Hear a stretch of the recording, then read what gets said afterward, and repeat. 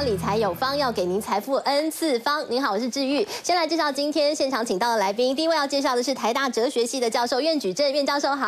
好，各位观众朋友好。好，再来介绍呢是亚洲投顾的分析师谢宗林，宗林你好。啊志玉好，观众朋友大家好。好，华信投顾的总分析师李永年，永年哥好。志玉好，各位观众朋友大家好。好，我们来看看今天帮大家准备了什么样的主题哦。首先呢，要带大家来聊的就是今天请到苑教授要帮我们看亚洲的新风暴是在货币汇率上吗？现在日本已经出了。负利率的狠招，那么到底呢？这个日本央行一出招，到底会有什么样的影响？那日本央行又是为什么不得不出此狠招呢？待会要请苑教授带我们来好好看一看哦。再来呢，我们就要带您看哇，长荣集团。本来我们以为接班就那一位张国伟嘛，他又会开飞机，那带着长荣航空整个长荣集团他接班，但现在看起来似乎不是如此。长子回来了，哇，大房长子的逆袭，到底长荣接班人是谁？还没确定呢。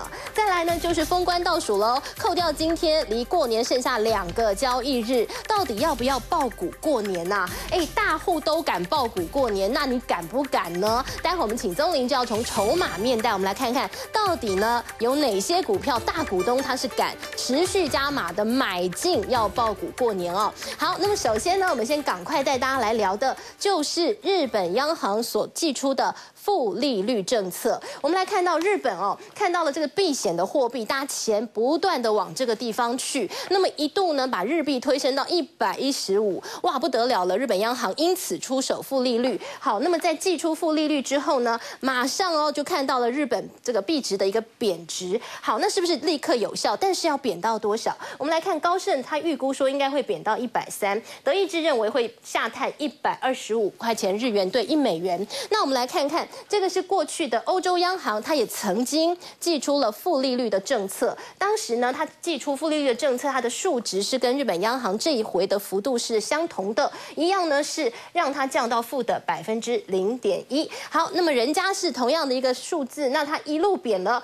大概贬二十个百分点，日本央行这回的负利率也有可能用同样的一个幅度再开始往下贬值吗？这个部分要请教一下苑教授，你认为有办法复制当初欧元的贬值幅度吗？呃，因为这个情况，我必须要先说一下什么叫做负利率，然后我再强调什么叫做日本实施负利率，是，然后我最后要强调为什么日本非要在这个时候实施负利率不可？是啊，首先第一个负利率不是利率，刚好相反，负利率是惩罚储蓄。对啊，所以说大家现在了解为什么要惩罚储蓄呢？就是涉及到很多的人，尤其是亚洲地区的人，甚至于尤其是在通常来讲受到儒家文化影响的人，就是受到这种温良恭俭让的文化，这个节俭致富的习惯。对，这个负利率是一个很大的心灵的一个改变。对，如果你愿意讲说心灵创伤也可以啊，因为大家突然发觉啊，你叫儿子说赚的现在赶快花光，免得明天不值钱。嗯，的这种观念。那另外的话呢，再强调为什么日日本啊，就是在礼拜五的时候早上，他要实施这个负利率呢？因为日本本身的国风以及它的社会的习性，对，都是强调制造业跟出口。嗯啊，日本在这一方面做得非常好，所以日本为了要它的制造业好，就要找到它的出口市场。为了找到出口市场，就要面对它的对手。它的对手大致上说起来都是现在贬值比较凶的几个货币。我们不要讲新兴国家或成熟国家，嗯，但是跟日本有竞争关系的这一些。国家，它的货币如果大幅贬值，刚好把日币当成一个避险货币，所以日本的央行行长这个黑田东彦他就发觉不用狠招是不行。可是，在日本的央行开会的时候，做了很多保留，嗯啊，比如说五比四的这个讯号出来，对，比如说到二月十六号才开始实施，对啊，比如说它附带了一些要实施的条件，以及的话呢，对于负利率进行储蓄惩罚的限制的这等等，就已经说明了一个很重要的观念，就是说这个。负利率纯粹是黑田行长送出来的一个对国际一个很重要的消息。嗯，那现在最后要讲说，为什么日本在这个紧要关头一定要实施负利率的主要原因，很明显就是日本的民族性格非常保守、非常固定，不透过这种非常有有这种震撼力的效果，没有办法改变。所以说日日币的话呢，因为好不容易前一阵子黑田一上台，五十兆日元的 Q E，对，现在 Q Q E 的效果，如果瞬瞬间化成泡影。应，百分之二通货膨胀的效率没办法达到的话，对那日本很有可能就是跟他几个纠缠不清的国家一直在玩这种出口啊、竞争啊、哦日本的国力的衰退啊各方面。所以对日本来讲的话呢，要改变这这消失的衰退二十年嗯，一定要用从货币政策开始。对，苑教授刚刚提到了为什么黑田东彦他一定要即使用负利率也。一定要这样做的是，就是刚刚这个苑教授提到的，他希望他的通膨率在百分之二。好，那么之前呢，我们也看到了这个呃，日本他们这个安田有三支箭，都是希望这通膨率要这个上升，但是呢，这个箭一直射，一直射，哎，好像没有用哎。我们来看通膨率在这个地方哦。百分之零点一，他希望到百分之二，哎，那现在呢还天差地远呢，而且呢它是往下掉的。我们来看这条曲线，它是往下掉的哦，所以呢等于是之前设的那些箭根本没有用，那么也因此呢来到这个位置点，它没有办法，只好实施负利率。那么刚刚其实哦，这个老师提到了说，呃，这个日本的文化，他们是那种。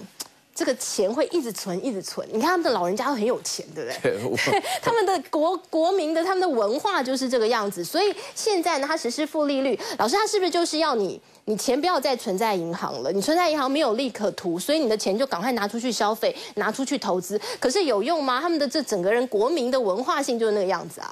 这个好有没有用哦？我们要拭目以待哈。不过有一个很重要的观念，就是日本原来的文化，我相信所有去过日本跟去过美国人的发觉，用的任何东西马上到了日本就小三倍 啊！你喝的咖啡杯的小三倍 啊！你用的那个奶精的小三倍 啊！日本本身来讲的话呢，一一滴有价值的东西都不会浪费的。热水它都是跟你日日本很少开关一开都不会停的，日本说停就停，对，它绝对不浪费资源。日本的电费啊各方面，它都是对于资源非常珍惜的。对，那可是。现在的出现的这个观念是一个非常重要的观念，就是说，如果你的消费习惯要改变，嗯，那就必须从你的荷包开始，嗯。啊，就是说一般来讲，日本人到底有没有钱，我们不知道，可以看得出来，就是日本是一个非常懂得精打细算的国家。啊，所以每一分每一毫都存下来。那么主要花费的习惯，因为日本人的生活当中，他各项产品都非常好，对，日本人就是不用讲爱用国货，日本人除了国货以外没有货可以用，所以在这种情况下，他一定要透过一个观念的转换。对，黑田东彦今天做的这就是这件事情，嗯，也是我们哲学所谓的经验主义的改变啊。哦、啊，这个是如果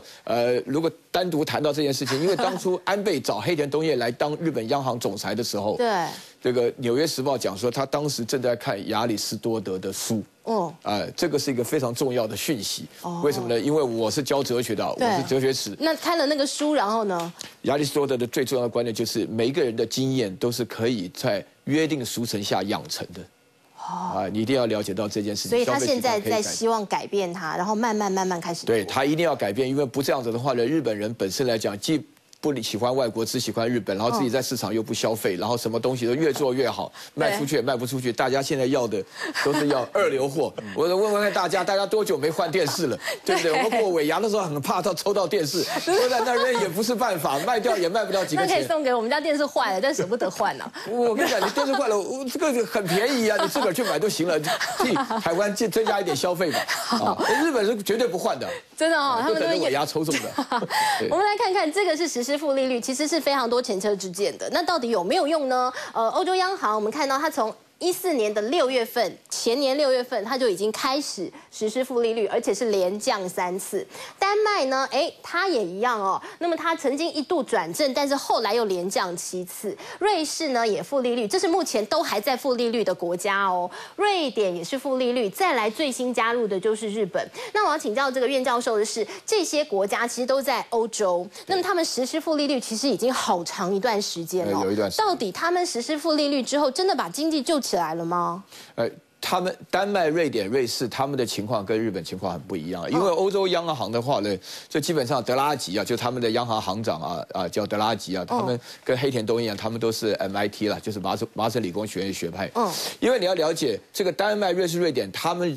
地点在欧洲，但他们都不是用欧元的区域。嗯啊，然后欧元的话，因为欧租的关系、欧债的关系，因为央行的关系，欧元一直在贬值的时候，他们的货币币值被估过高。嗯，只有透过极端的手法，跟日本的情况不一样。欧洲央行的话呢，真的是透过货币贬值的方式来增加这个贸易出口的竞争力。啊，因为欧洲的话呢，目前为止有十九国使用欧元这个钱嘛。对。那其中的话呢，所以大家可以了解为什么台北街头一下子德国的。车子多起来了，便宜嘛，哎，因因为我我小的时候没有几个人开得起德国车，现在的话呢，连台大教授都有好多人在开宾士轿车，为什么呢？因为他们说这已经算不上什么道德的问题，因为便宜多了。对，你如果算拿个欧元来讲，啊，如果如果算回来的话，会发觉马克就是德国自己的钱就明显被低估。可是日本情况就不一样了，日本的话呢，它是一个在独立的经济体，而且相当大，它是全世界第三大的经济体，它采取负利率政策的话呢，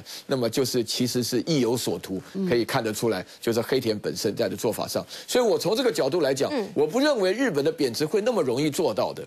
啊，呃，不是那么容易做到的，所以你看，这其实包含高盛，他的估也相当保守，就是啊，就是一百二啊左右，一百二十五、一百三。对，你要让日元贬值的话，一个很大的困难就是说，什么样的钱会贬值呢？就是这个钱没有人要才会贬值。对，啊，那但是现在日元很多人要啊。啊，对呀，大家喜欢去日本玩了，不是只有台湾人喜欢日本玩啊。对啊，哎，很多人。我大概明天就要去换了，因为过年要去日本。啊，对呀，对呀，对呀，不是说你要换，我也要换啊，对不对？呃，过年的时候到哪去都好啊，对，春夏秋冬都好，全日本到处。对。所以这个日本的钱只要有人要，他就不可能，他就贬不下来，不太可能会贬值。好，那我们就赶快来看一看哦。那毕竟是刚刚像这个苑教授提到，它是世界上第三大经济体，所以呢，它的货币政策其实是牵一发动全身。呃，这回呢，我们看到黑田东彦他出的这个奇招，刚刚苑教授已经说了，他其实就是想通膨率要拉升到百分之二。那有没有可能它的负利率？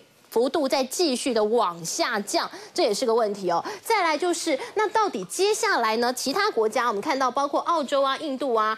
泰国啊，英国他们的央行的利率决策会议都要展开，还有就是我们台湾，我们的央行有没有可能？而我们看到了之前美国联准会他们的升息，然后我们就看，哎，我们的彭总裁居然降息。那时候大家还想说，哎，怎么会跟美国脱钩？后来想想，哎，彭总裁好像是不是才是对的？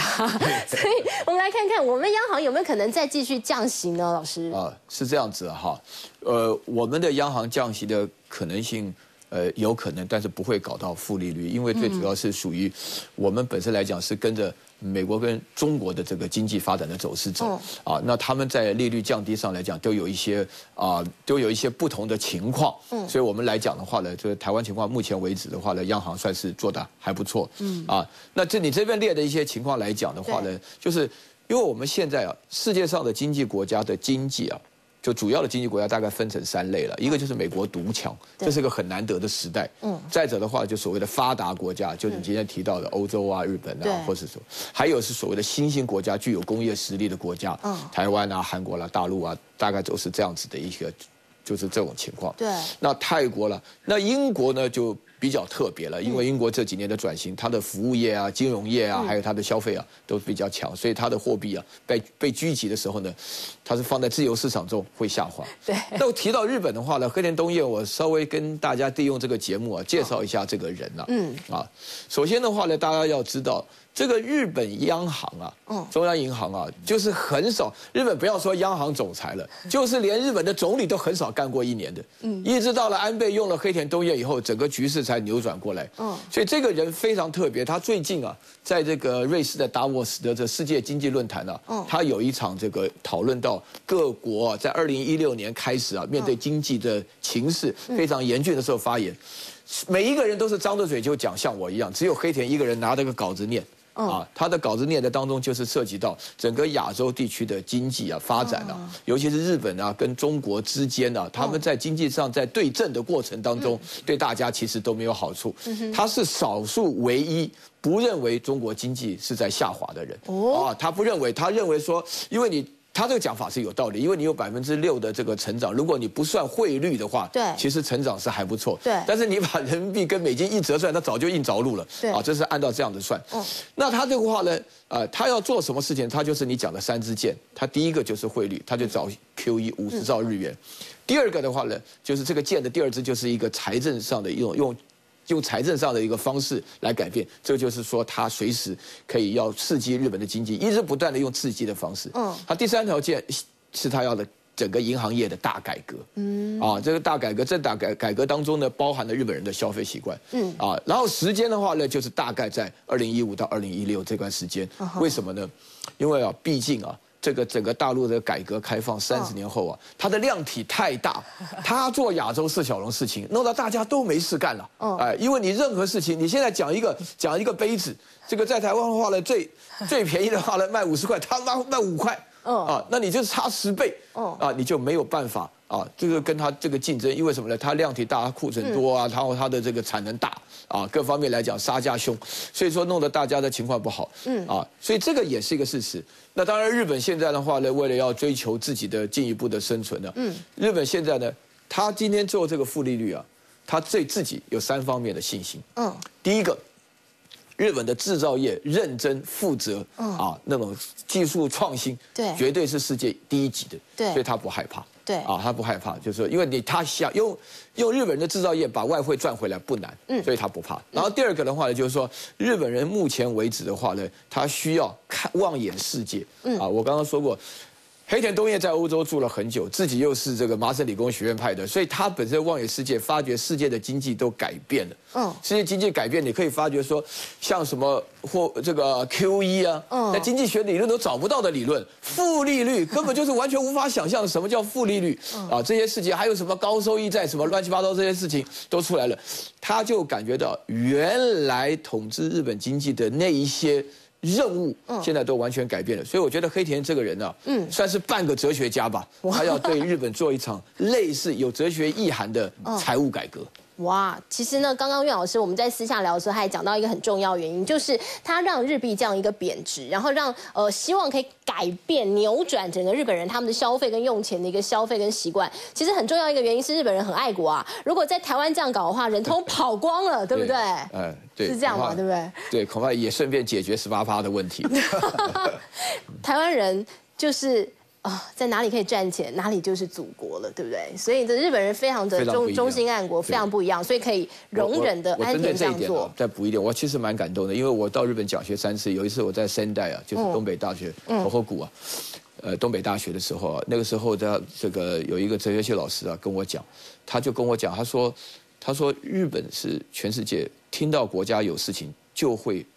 站出来，不管是打仗也好，经济也好，就不就会跟国家的命运在一起的国家。所以日本人虽然很保守，嗯，但是日本它有它的好处，也是因为这个缘故啊。所以黑田东彦在。在这个做这种负利率的这种招数的时候，嗯，他非常有把握。我再强调一遍，投票的时候是五比四，嗯，对于他来讲，他压力是非常大的，嗯。啊。但是呢，我觉得呢，那天我看到他在这个达沃斯，在瑞士开始经世界经济论坛的时候，他讲的非常有把握，嗯，他自己觉得这个做法上来讲，他自己都嫌自己还太保守，哦，哎，他要大家就说整体了解，现在整个经济是一个全球化的经济，嗯，那黑田的做法，相信，因为我原来就非常看好他，嗯。哎，因为原来因为日本的这个央行总裁做的不久，但是因为跟教授等于是同行，都哲学家。呃，他是人家是有专业，是财经啦，对，很厉害。他是顺便读一读哲学书，就超过我们很多了。好了，那叶教授，那接下来我就要请问喽，因为呢，其实我们刚刚看到这个是日本哦，日本他们的一个负利率的政策。那么接下来我们要带大家来看到，这个是最近的《金融时报》。《金融时报》呢，它把我们台湾、印度、中国跟南韩，他把它拼凑成一个这个单字叫 TIC。他说我们叫做 TIC 四国。那这四国呢是非常有投资价值的四国。那以前的金砖四国嘞，金砖四国的巴西跟俄罗斯已经被踢出去了，那换了我们台湾跟南韩进来。那台湾呢，他特别给一个原因说，因为我们的股市已经跌得很凄惨了，所以我们的投资价值浮现。那我要请教岳教授的是哦，那这个 TIC 四国呢，你认为接下来它的发展就如同《金融时报》讲的，真的会吸很多金进来吗？呃，它这个哈，这四国其实性质上不太一样，嗯，因为原来的讲的金砖四国，他们都是原物料为主，啊，只有中国例外，像印度。啊，它这个发展的情况就很特别。现在大家普遍上来讲，就是觉得说印度到了该发展，一直没发展，所以现在是真的是好时候 啊。但是它有它的一个限制，它是它那个传统简直是已经是古老到就是啊，有些地方还有那种原来的这个这个 caste system 那个制度啊，所以说宗宗主制度还在，所以这个不是特别理解。台湾跟南海我觉得很巧了，因为它也很类似啊，呃，用红字标出来啊。对，南韩是的高科技各方面。来讲是面对了消费市场萎缩的问题，对，所以它的这个出口上的萎缩比台湾还厉害。嗯，那台湾的股市在很多地方来讲啊，嗯，呃，是受到一个影响。不过，我个人是认为啦，我个人是认为，就是讲个比较呃大胆一点的话了，就是说，呃，大陆本身目前有一个很不能降息的一个尴尬点，因为它刚进 SDR，嗯，然后为了这个特别提款权，它必须要能够一方面做到人民币的在自就是自由汇率制度里面，嗯，能够维持不最。不要太严重，大概是六点五到六点六这个距离的同时呢，他又要让大家感觉到中国的经济有发展的前途，对，所以他就喊出了一个供给侧改革的一个口号。对，那这个改革我曾经在说过哈，这个改革的时间一定会非常长，而且可能很。痛苦。嗯，那台湾在某种程度上讲，因为你的地理位置太近了，对啊，所以说我们在这个问题上来讲，如果说中国的情况会好转的时候，台湾确实是一个作为 tick 啊，这个稍稍养这个是值得的地方了。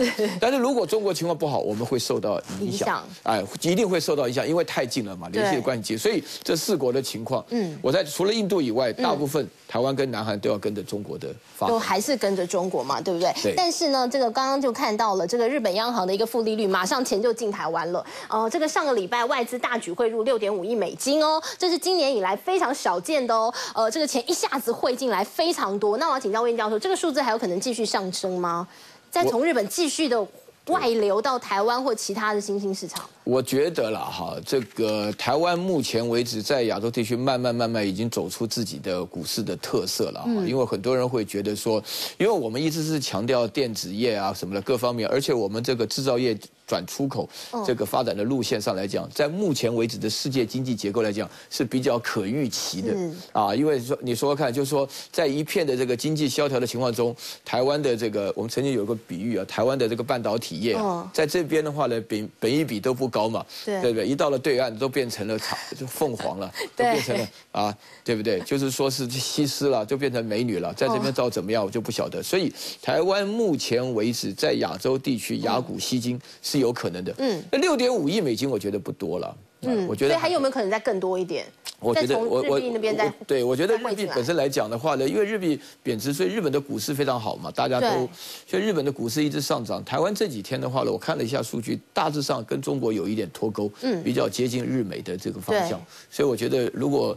呃，比较敏感的 两位人士，他们可能会比较了解 台湾重回啊，这个青睐是应该是问题不大。好，非常谢谢苑教授今天帮我们聊了在整个呃日本的央行它的负利率政策到底背后有什么样的原因，那么以及呢怎么样的联动世界的一个经济布局哦，非常谢谢苑教授。那么接下来我们要请一下钟林喽，那钟林就上来帮我们看看喽。我们来看这个数字哦，这个外资汇进来嘛，那汇进来大家当然有部分流进股市嘛。我们来看一下今天的股市表现哦，今天开了一个小高。然后呢，就在平盘附近这样上下震荡，呃，尾盘又拉上去，小涨十一点，收在八一五六哦。呃，比较特别的是，我们来看今天外资是买超，呃，上个礼拜六，呃，我们台湾就是独自开盘，独自开盘，全世界只有我们开盘，外资应该也都放假，所以那时候外资没什么买。然后我们看到今天回来，外资又买六十八点八亿，会发呢，哈，嗯，对，不是重点，好，来重点在这里，外资期货的多单一下子退很多。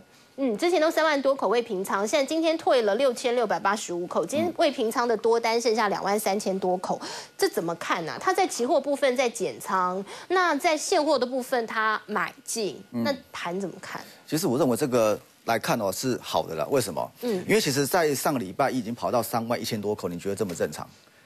其实不太正常，你知道吗？真的吗？我们觉得很高兴哎。因为一般我们在看这个 OI 的时候，其实台股的多单 OI 哦，或者空单 OI 很少、很少、很少超过三万口的。哦。那也就是三万口这个地方，它就是一个。极限是顶了，嗯，那如果说你看到三万口的话，其实它就是表示说什么？它后续再加码的空间是非常有限的，哦，因为就所有钱全部都进去了，那你在加码空间有限，难道你三万口之后还要在四万口吗？这机会是不太大的，因为过去就很少，很少，几乎看不到，就顶多就两万多就很已经紧绷了，对，所以三万口是很少的，但是他这次已经买到三万口，表示什么？其实表示说他已经看得非常好，嗯，他看得非常好，他发现说，哎，糟糕，我的期货这 OI 好像各家都买太多了，买太多怎么办？大家先推一点出来吧。所以这是先退的意思，对，先退一点，他看坏了，对，而且放假是有差不多。十几天嘛，也就是其实我已经买那么多了，我也不需要压这么大，我就先推荐出来。那推荐出来，就我们来看的话，其实它是好事。为什么？因为过去本来就很少出现突破三万口的啊、那你现在退到两万口的话，其实表示什么？哎，比较旺了是两万多口，哎，不是对两千口，哎，这两千口你知道担心说明天会崩盘，两万多口这个非所以就是即使即使。它退了，还是维持在高水位。对，所以而且这个是你你就会发现说，对，而且你会发现说后面它应该是还有在加码空间。哦，好，那我们看一下这个大盘的线图哦。我们来看最近这几天哦，其实它已经默默默默已经要回来碰季线了，对不对？嗯对今天其实几乎已经是碰到了哦。那我要请教的是，那在最后两个交易日，明天后天嘛，嗯然后就是放假去了，两个交易日呢，有没有机会站回去？我认为有，明天应该是继续整理了，哦，继续稍微整理。那后天是就是准备封关了嘛？哦哦，啊，一般来说封关，过去的封关很少是短拉踩的啦。你恐惧一下，过去十年其实拉踩的机会其实很少了。所以应该不至于再往下用力崩盘。对，所以明天应该是整理一下，后天后天应该就是哦，就是你就要放空了，赶快去空哦，金康金康，然后呢后天拉一根起来，对，然后就嘎住你。真的吗？所以后天会有我的看法是这样啦，因为你看那个外资的多大还这么多，两万多口哎，不是两千口哎。真的吗？哎，我可以请问一下第二意见吗？永年哥，你觉得封关那一天会有长虹 K 吗？封关那一天，收红应该没什么大问题，不过长红我不敢讲没。有，我说红了，我没有说长红的。好，没关系，我没有期待太。多红的嘛，对红的嘛，红的红的哈，好。那所以呢，到底可不可以爆股过年？最近有很多人在问这个问题所以今天钟林特别要帮我们带来的是大股东他也敢爆股的是哪些？其实爆股过年哦，其实我认为，其实这部分你要先搞清两件事情。第一个就是你到底敢不敢抱我过年？对我就是看你的个性。如果说你是涨也怕跌也怕，啊，拜托你不要抱我过年嗯哦，因为那十天你可能会很难过。对那第二个就是你要先搞清楚现在产业的状况。嗯哦，比如说像那个太阳能的今天的头型在卖，对不对？对那也破线，对不对？对然后产业好像有点讯，有点疑问，对不对？对那我就不要抱我过年了。所以你要报股过年，要报的是什么东西？要报的是法人还在买。哦，比如对说像这个重疾，这个是上个礼拜，嗯上礼哦上上礼拜啦，大户增加低迷的，对就是在上市部分就是重企的部分。那增加低迷之后，你看它其实就是顶多整理一下就往上走了。对然后这个是大户持股比率。嗯嗯。所以如果说一般我们在操作的话，其实投资朋友就说啊，我没有什么消息，我不像法人在办公司，没有关系，因为有人在办公司，办公司之后他如果觉得好的话，他会怎么样？他会买哎，对，他会买嘛。所以呢，你就是看看这些人在干什么就可以了，哦看对这些人在干什么，然后呢，我们只要看那些呃比较有消息的人他的动作，对对对要跟着他做，这样就好了。对，所以不对也就是你每天二十块的报纸，你就可以省下来哦，不然有时候会被影响到。好？不要乱看报纸。对，这是短线上的啦对。对？然后像这个星象这部分是比较中长线的。对你看这个中长线的部分，你看总涨成这个样子，嗯嗯，你看到这种股票，我比如说像重企或者星象这样子，你会觉得这个大盘在走空头吗？没有，它都走多头，对啊所以这个怎么看呢？你看大户持股一路在增加，对不对？对，这个颜色变深，然后它又很明显的往上跳，就代表说大户持股要买到四百张以上哦，这对就个我们一般人是不会买四百对一百一般人不会买到四百张以上。所以这个是真的是大户哦。那大户你看他还沿路在买，他在增加，所以就代表这个大户他持续增加他的持股。对，没错所以。它的股价被推升。嗯那星象也是一样，你看它大户持股也是这个越买越多，这对个一定知道些什么。我对，们这边还在九八八九十块，现在这对边已经到多少？一百六十几，这涨一倍了呢。所以这种股票就可以爆股过年，对。因为有大人在这，对，而且根本就你这样来看的话，其实他还没有还没有落跑，它都没有接下来，对，它还在没有里面跌下来。对，然后如果说这两天的话，你觉得这两天他有办法把股票全部卖光吗？因为他太多了，呃，对，太多就卖不掉，就算要卖也要卖很久啊。对，所以这个就是 OK 的，不对对对？好，那么再来呢，这个钟林也帮我们挑了一些，这个就是也是主力大户买很多哎，对。这个比率数字哦，你看易丰不得了了，这个是四百张以上的有八十七点五趴，等于他的股票都在大。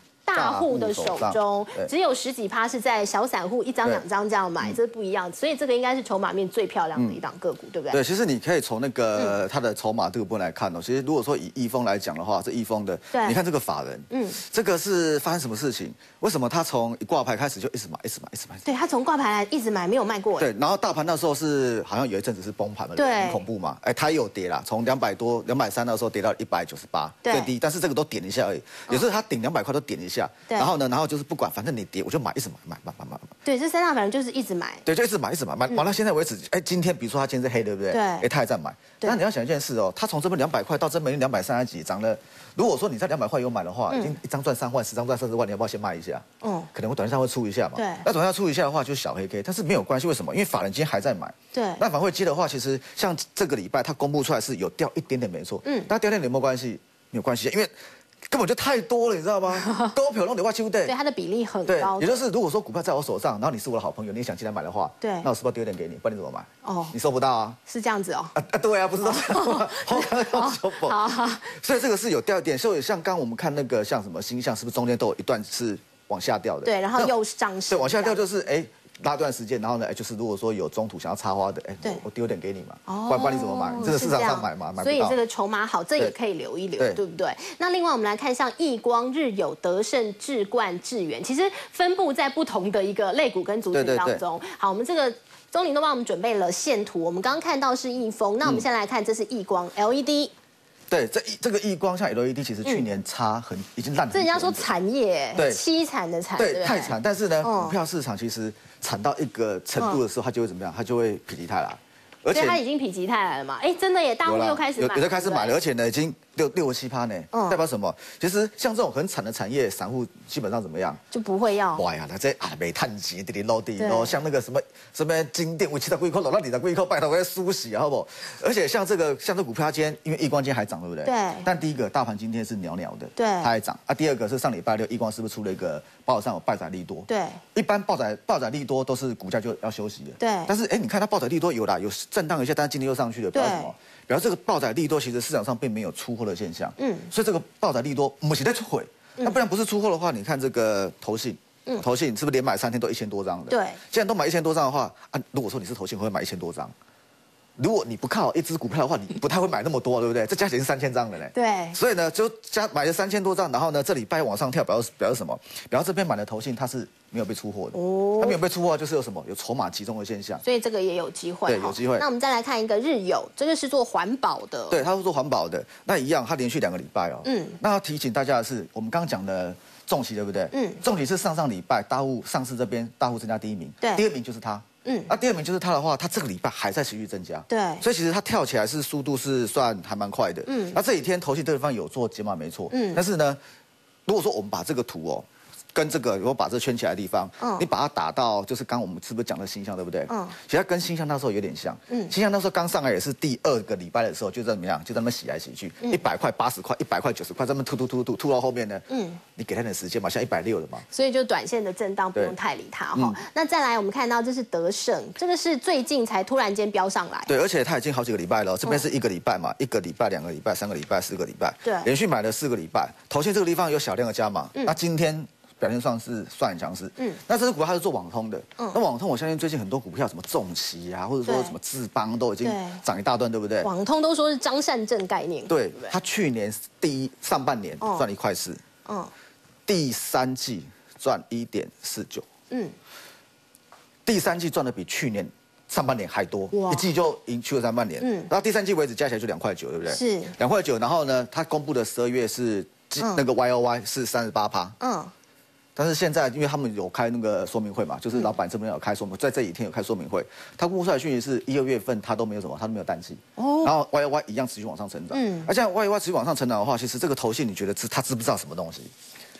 他他一定知道些什为他这只。股票其实鸟很久，你知道吗？对那鸟很久，鸟到 哎，怎么忽然开始在买了？那表示什么？表示好像不太对劲的，没有没有那么坏哦。所以其实就算你刚刚讲的那些我们都不知道也没有关系，你就要看投信开始买了，你就反正他知道些什么，跟着买一下。对，就是然后趁他还在买的时候，你就赶快卖掉，至少有蝇头小利可以赚，哎 是这样吗？对，是没错的。而且呢，这刚开始买，其实像我们有很多股票都是投信在买，买到后面涨不上去的原因，就是因为真的买太多了。对，像智冠类似嘛，对不对？我们没没什么时间啊，快点讲。哦这个智冠哦这个也类似嘛。对，因为都是实这飙上来嘛，对，都飙上来，就是忽然都跳很高。智冠是这个礼拜，嗯嗯，这个礼拜上柜增加第一名的就是智冠，哦，大户上增加第一名，智冠，对，对不上对？上柜这部分增他有拿到第。三方支付的执照，对，而且呢，而且有一家，如果说你要订这个股票，其实很简单，为什么？